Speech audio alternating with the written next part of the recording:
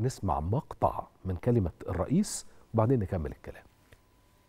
محتاجين نتأكد إن اولا بالنسبة لشرق العوينات إن إحنا المخزون المية الجوفي اللي إحنا بنستخدمه في الري هنا سواء للمنطقة المنزرعة عليكم أو للمستثمرين دي بيتم التعامل معها طبقا للمعايير اللي تحافظ على هذا المخزون لأكبر فترة ممكنة. أنا بتكلم هنا على استخدام المية بشكل رشيد جدا جدا دون هدر آه، في الزراعة. فأنا عارف إن وزارة الري بتتابع ده يا دكتور مصطفى.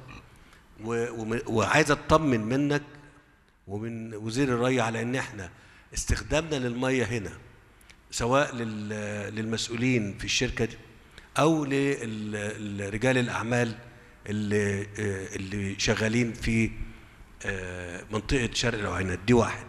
نفس الكلام بينطبق على منطقة توشكا. إحنا المحطة المية اللي معمولة هناك من سنة 86 دي معمولة عشان تطلع حجم معين من المية.